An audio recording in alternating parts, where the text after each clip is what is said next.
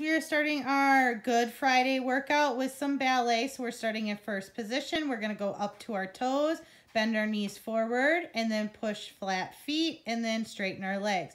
So again, we go up on toe, bend our knees, flat feet, straighten our legs. Then we'll go out to second position. Okay, we're going to do the same thing. Releve, bend our knees, and flat feet, and straighten our legs. And releve, bend our knees, flat, and straighten our legs.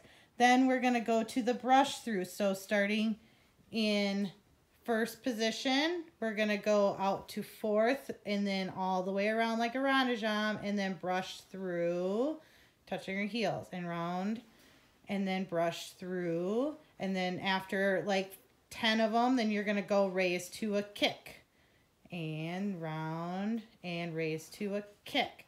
Okay, then we also have the Rond de jambe 45 all the way around and brush through Rond de jambe all the way around.